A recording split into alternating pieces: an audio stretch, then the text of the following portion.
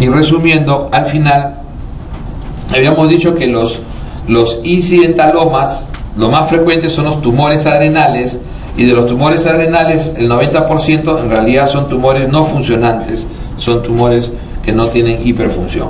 Pero el otro 10%, uno de los más frecuentes es el feocromocitoma, que no es un cuadro típico, no es un cuadro muy recurrente, son tumores raros de tipo de estirpe neuroendocrina que secretan catecolaminas en la médula ¿no? adrenal.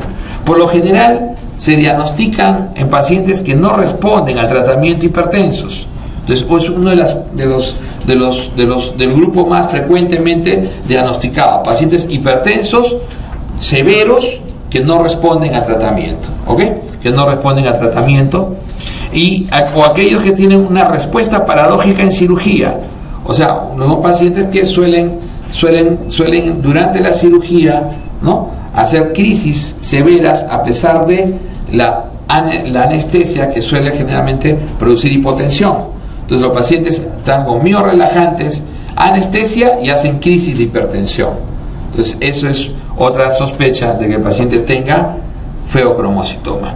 La historia familiar también de feocromocitoma se asocia a MENS, por eso es que entonces la historia familiar es importante, puede ser hereditario. Como decíamos, el incidentaloma adrenal es otro de los que nos hace sospechar. Ver un incidentaloma o sea, ver un tumor suprarrenal ¿no? hace que al paciente uno le pregunte si es hipertenso, ¿no? si es hipertenso y si su presión es de difícil manejo, si ha tenido algunos síntomas característicos. Los síntomas característicos que pueden presentar son ataques de pánico y ¿no? lo que se llama rubicundez flush ¿no? o fase muy rubicunda, crisis de rubicundez que pueden hacer estos pacientes. Entonces, en ese contexto, estos pacientes uno puede sospechar de la posibilidad de que esté produciendo exceso de catecolaminas y un tumor productor de catecolaminas. Fundamentalmente, el diagnóstico se hace hoy en día por dosaje de metanefrinas en orina 24 horas o en plasma, o sea, en sangre. Generalmente madruga 30 minutos post punción.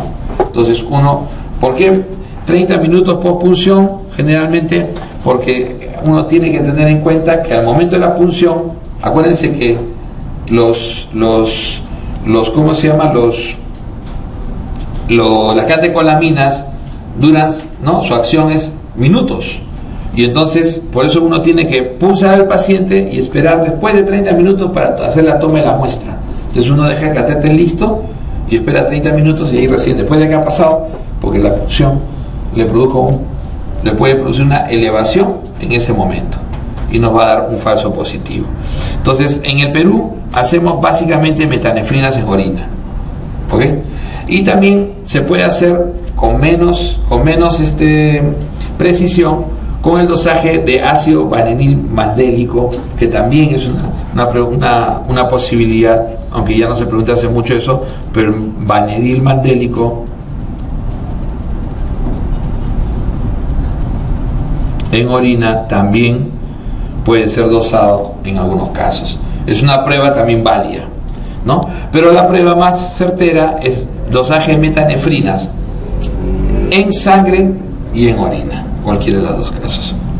Y entonces también se puede a veces hacer test de supresión con clonidina. Recordemos que los bloqueadores alfa son fundamentales en estos pacientes. Entonces, en estos pacientes vamos a requerir bloqueadores alfa para poder, para poder controlar a veces el cuadro de hipertensión. Algunos pacientes raramente pueden hacer malignidad si se encuentran células cromafines en la biopsia. Generalmente se intenta hacer una biopsia, pero por lo general, ante la evidencia de feocromocitoma, es preferible no arriesgarse a crisis hipertensivas o emergencias hipertensivas. Entonces, por lo general, cuando se sospecha que eso sea un feocromocitoma, se recomienda no hacer una biopsia de suprarrenales percutánea. El manejo fundamental es, el diagnóstico se va a hacer con el dosaje de metanefrinas y el manejo es quirúrgico, pero con un control de la presión arterial ¿no? Generalmente en el caso quirúrgico se puede utilizar fentolamina, pero en realidad antes es ideal el bloqueo alfa. El bloqueo alfa, que a veces es hecho con clonidina, ¿no? con clonidina, pero fundamentalmente tenemos, o también puede ser hecho con prazosina. Entonces, de ahí el paciente debe ir a, al uso de fentolamina durante, es más, la fentolamina también es el manejo de la crisis. Recuerden que en la emergencia hipertensiva con daño de órgano blanco, dentro de la lista está feocromocitoma. Y el feocromocitoma puede producir presiones, ¿no? Con diastólicas mayores de 140, con sistólicas mayores de 120, y que lo que van a requerir para su control es fentolamina como medicación.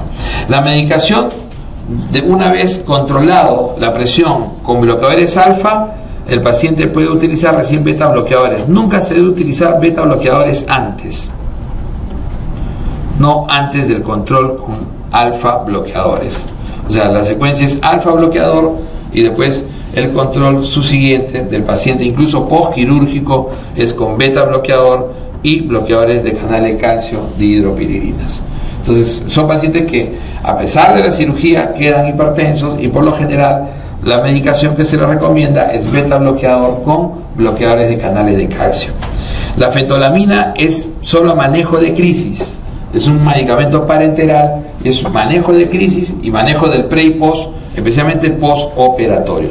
Y más, y más que todo el intraoperatorio, porque es durante, durante la manipulación del tumor donde se producen las peores hipertensiones. Las peores hipertensiones que un ser humano puede tener son estas, y se describe las presiones, ¿no? Las presiones más altas descritas en los en humanos que han sobrevivido a esa hipertensión son en feocromocitomas y es por su manipulación básicamente. Entonces son generalmente aquellos que manejan este tipo de tumores, hay gente que tiene que tener mucha experiencia en poder manipular este tipo de cáncer. El, manipularlo con facilidad produce presiones intensas que a veces no son, ni siquiera la fentolamina es capaz de controlar. ¿Ok? Entonces, feocromocitoma, la pregunta clásica es, ¿cómo lo sospechas? dice, paciente con hipertensión severa, ¿no? Tiene metanefrinas positivas en la orina. Ya está hecho el herno. La pregunta es feocromocitoma. En otros sitios es muy frecuente que, le pongan paciente con incidentaloma e hipertensión de difícil manejo o con, con crisis recurrentes. O si le ponen metanefrinas te están, dando, te están regalando la pregunta. Como que lo han hecho, lo han hecho. O sea, por eso le digo, pero que si ya nos regalaron una vez, no creo que nos regalen dos veces, ¿no? Salvo que sea regalón quien hace la... pero definitivamente en otros sitios más van hacia el incidentaloma hoy en día en combinación con qué? Con la hipertensión no controlada, recurrente. Paciente con antecedente de emergencia hipertensiva, ¿no? Le estoy contando lo que de repente les voy a poner en algunos simulacros, ¿no? Paciente con emergencia hipertensiva que hace, ¿no? que hace el paciente, se encuentra una tumoración en una tomografía. Incluso por ahí había una pregunta que decía, paciente con dolor abdominal, sospecha de apendicitis, ¿no? Se le hace una tomografía y se encuentra un tumor adrenal. Y eso es lo más clásico, ¿no? Un paciente que tiene un dolor, tiene, como se dice, un, ¿no? un atravesado que no quiere salir y como todo el mundo se hace hoy en día tomografías, sale el tumor y entonces dice, y se tiene como antecedente hipertensión de difícil, la más frecuente que hacen, usan afuera es de difícil control.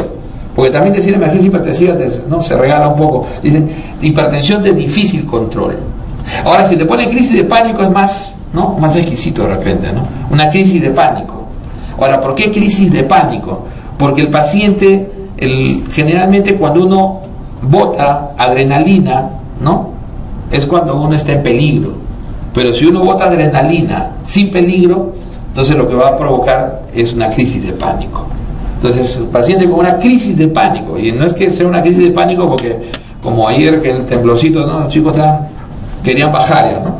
Entonces, por suerte duró segundos nomás, ¿no?